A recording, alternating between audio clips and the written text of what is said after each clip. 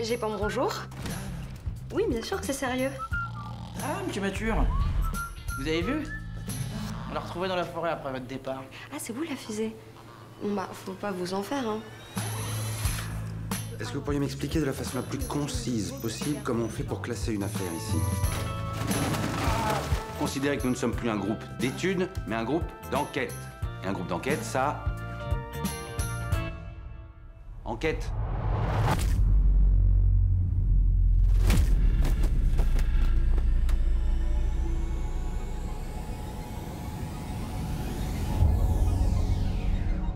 Mais tu t'occupes des ovnis, toi, maintenant Mais il existe vraiment ce bureau Moi, je croyais que c'était une blague. Non, parce qu'il faut leur dire d'arrêter de filmer et disperser tous ces gens. Mais tant qu'on n'aura pas donné l'explication, y a personne qui bougera. Ça, une grosse boule blanche, très très blanche. C'était la Lune. Ça explique pas les types qui s'est fait enlever. Ils sont comment? Petits, verts, avec des pistolets laser?